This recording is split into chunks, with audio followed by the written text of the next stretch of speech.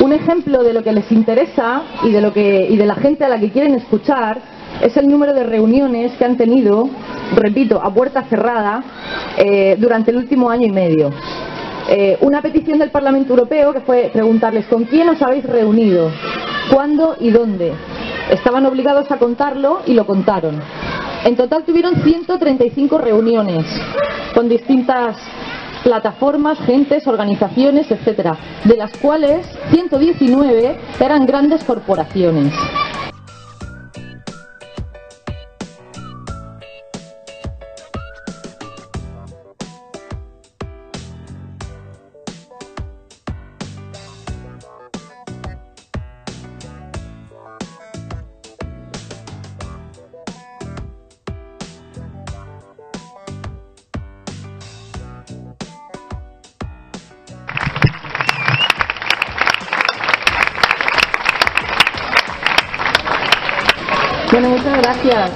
Eh, al Círculo de Murcia por haberme invitado y bueno, y a todos los que estáis aquí. Además eh, veo que ha venido gente de, de lejos, hay gente de Cartagena, hay gente de Gin y pues muchas gracias, de verdad. De Mula también. Eh, bueno, vamos a ver, yo tengo algunas prioridades que contaros de cosas que se nos vienen encima que son inminentes. Seguramente me habréis oído hablar del Tratado de Libre Comercio con Estados Unidos. Y esta semana precisamente, que ha sido los plenos de Estrasburgo, pues hemos tenido ahí un rifirrafe con el comisario de Comercio Internacional eh, sobre el CETA. El CETA es el Tratado de Libre Comercio, pero en vez con Estados Unidos, con Canadá. Eh, entonces os voy a contar en qué punto está el CETA, porque es una especie de sondeo que van a probar para ver cómo va, eh, y es como un tip, como el tratado con Estados Unidos, pero en light. Entonces, eh, hubo una iniciativa ciudadana eh, que pedía que se dejaran recoger firmas por toda Europa para detener las negociaciones del CETA. La Comisión Europea esta semana lo ha rechazado.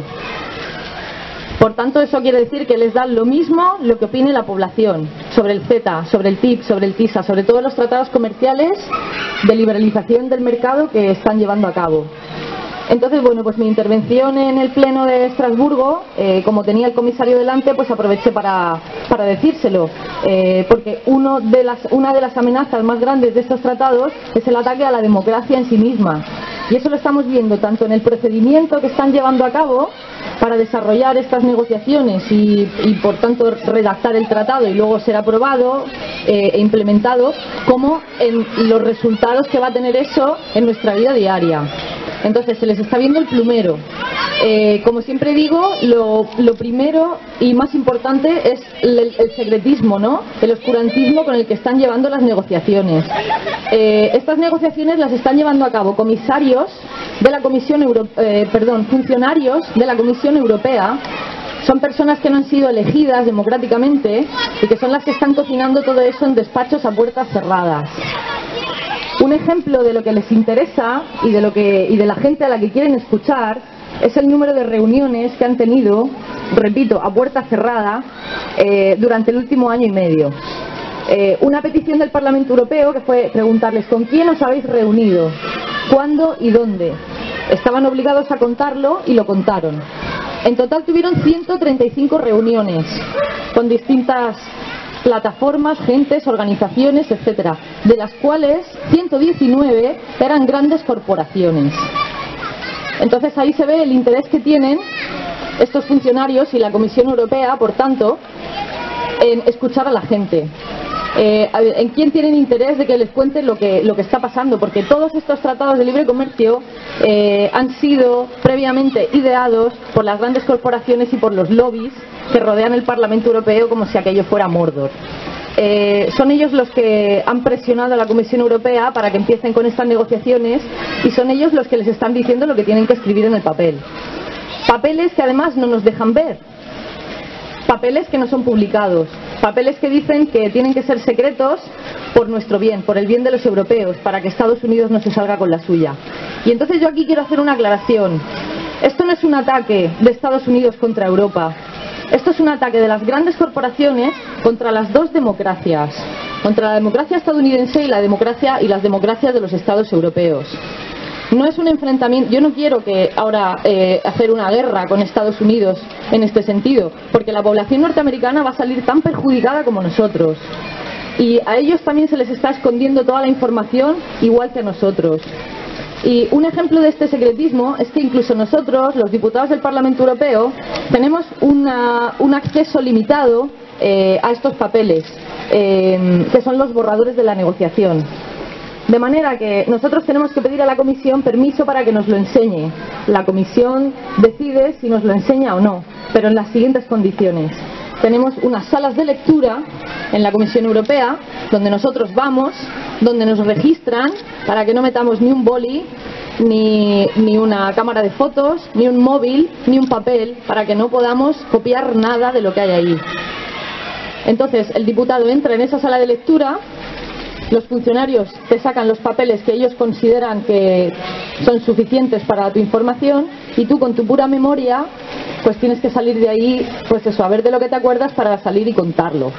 Entonces, los diputados que estamos en la Comisión de Comercio Internacional, en el Comité de Comercio Internacional, pues somos los que tenemos acceso a eso. Yo todavía no lo he pedido porque no ha habido tiempo, porque las comisiones, los comités están empezando a funcionar, pero tengo compañeros que ya lo han hecho y claro, pues es una situación bastante humillante, ya no solo por nosotros, sino porque nosotros, el Parlamento Europeo, es el único, eh, es la única institución europea elegida democráticamente. Entonces es humillante cuando a ti te están registrando y te están cacheando, no nos están cacheando a nosotros, no, están, no me están cacheando a mí, a Lola Sánchez, están cacheando a todas las personas que nos han votado.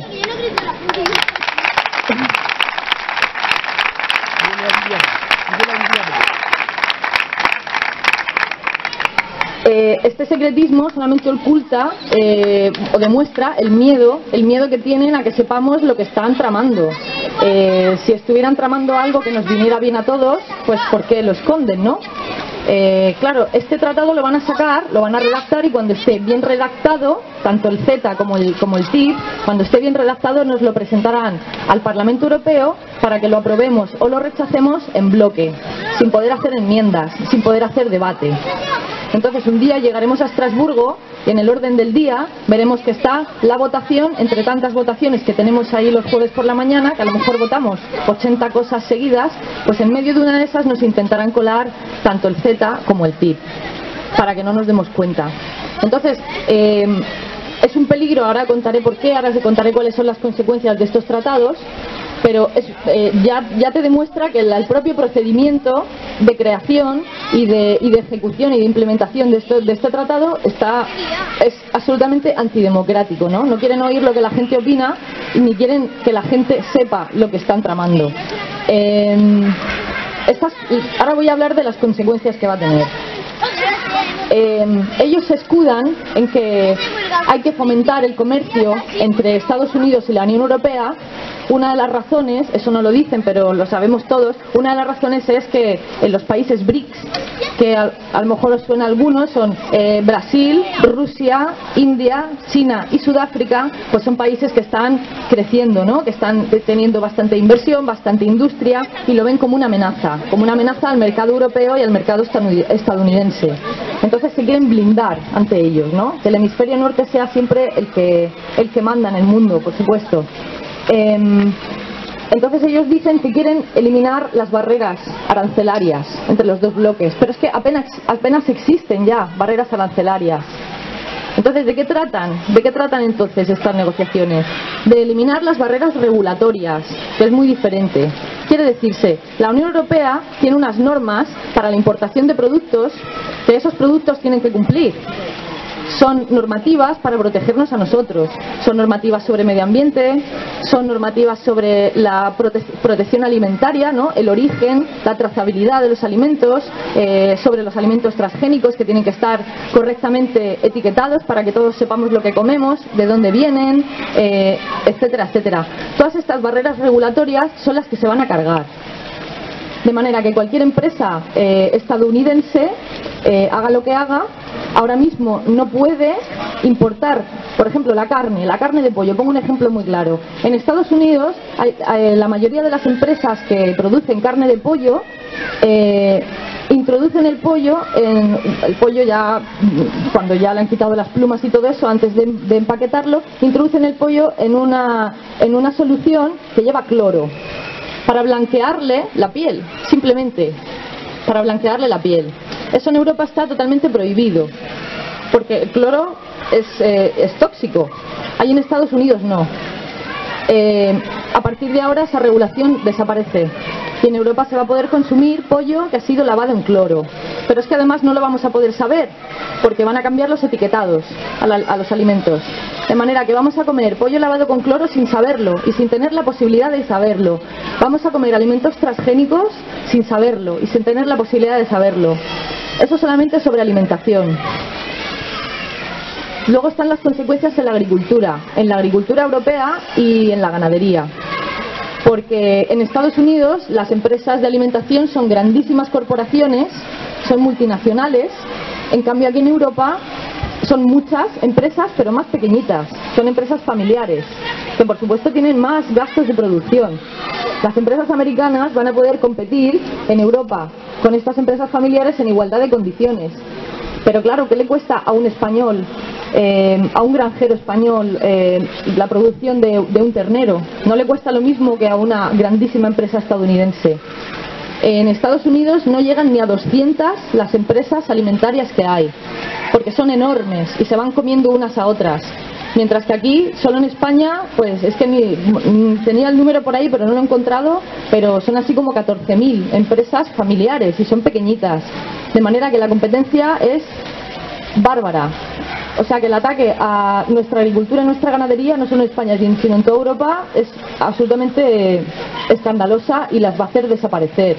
Entonces yo creo que eh, este sector, el sector agroalimentario en Europa, eh, me parece que está un poco, desconoce un poco este tema y bueno, pues yo invito a que esto lo contéis a todo el mundo y seguro que todos conocéis a gente que tiene pequeñas producciones, sobre todo aquí en la región, que vivimos fundamentalmente de eso y para la región va a ser un peligro absoluto porque va a hacer desaparecer muchísimas producciones pequeñas y, y familiares. Em, más cosas sobre el medio ambiente. También se van a eliminar las barreras regulatorias sobre el medio ambiente. De manera que aquí en Europa, por ejemplo, el fracking, que es una manera de extracción de petróleo y de gas peligrosísima porque contamina eh, las aguas subterráneas, porque está comprobado que provoca terremotos, el fracking no es que esté prohibido, pero está muy regulado. Aunque aquí nuestro gobierno pues estamos viendo lo que va a hacer en Canarias y bueno, ya vemos de qué, de qué palo va, pero hay otros países que lo cuidan más. Eh, esta regulación desaparece completamente, de manera que una vez más todas las empresas norteamericanas y europeas vía libre para hacer fracking en todo el territorio europeo. Eso es una auténtica barbaridad, es de lo más contaminante que, que hay ahora mismo en, en cuanto a, media- en cuanto a, actividades de, de las grandes empresas eh, energéticas. Eh, otra cosa a la que, se, a la que, abre el tratado- los tratados de libre comercio es, por supuesto, a la privatización de los servicios públicos. Pero claro, ahora también serán las grandes empresas norteamericanas, las grandes aseguradoras que todos sabemos cómo se comportan allí, las que van a poder optar a entrar en los concursos para la privatización de, ¿no? para la gestión de, privatizada de los servicios públicos.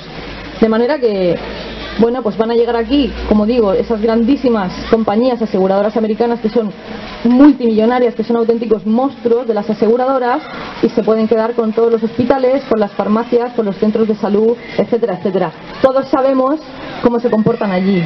¿No? que son eh, compañías que no tienen ningún escrúpulo y que, bueno, y en Estados Unidos lo vemos, la gente muere en las puertas de los hospitales porque no tienen, porque no tienen seguro médico, no tienen ningún escrúpulo. Entonces, bueno, pues para esas compañías, puertas abiertas y ventanas abiertas y todo lo que haga falta.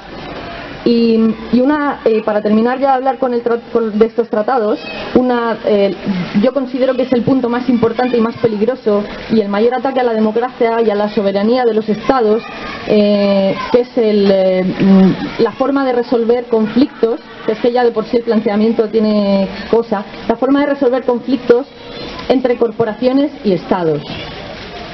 De manera que ponen al mismo nivel a un Estado y a una corporación, como si fueran lo mismo. Entonces, si un Estado legisla, por ejemplo, imaginaros que Podemos gana las elecciones generales y, entonces cambia la ley laboral. Decide cambiar la ley laboral y decide que, pues, que la indemnización por despido pase de 20 días a los 40 que eran antes o, o cualquier cosa así, algo que beneficie a la ciudadanía. Bueno, pues entonces todas las corporaciones que hay, incluso las españolas, podrán demandar y denunciar al Estado español por los perjuicios que eso le va a conllevar. Como a esas corporaciones les va a costar más dinero despedir a la gente, en este ejemplo que he puesto, pues esa corporación denuncia a España y le dice que España le tiene que pagar todo ese dinero que van a perder. Y entonces todos los españolitos tendremos que pagarle unas sumas millonarias a esas corporaciones simplemente porque el Estado proteja nuestros derechos. La consecuencia de esto, lógicamente, es que muchos estados, muchos gobiernos dejarán de legislar para protegernos por el miedo a estas denuncias. Esto ya está pasando en Estados Unidos, eh, perdón, en Sudamérica.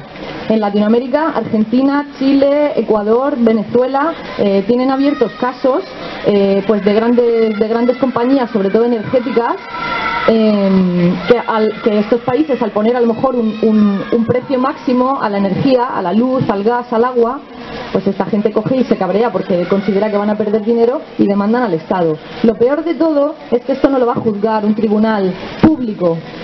Esto lo juzga un grupo de tres personas que elige la corporación. Es que es increíble, es una tomadura de pelo alucinante. Tres personas que elige una corporación, que estas tres personas también están metidos aquí las grandes compañías de abogados, sobre todo de Inglaterra que están metidos aquí en el TIP, en el Z, en el PISA hasta el fondo. Eh, ellos también van a cobrar un dineral por arbitrar estos casos. Cobrarán una auténtica barbaridad. Eh, ¿A quién van a defender? ¿Creéis que van a defender a los estados? ¿O van a defender a las compañías, que son las que les están pagando?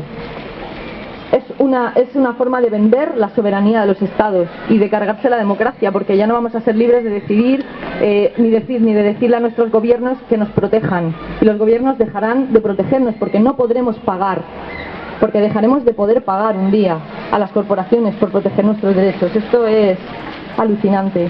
Y bueno, pues con esto termino de hablar de, de los tratados de libre comercio y ya pues cualquier pregunta que ya preguntas que queráis.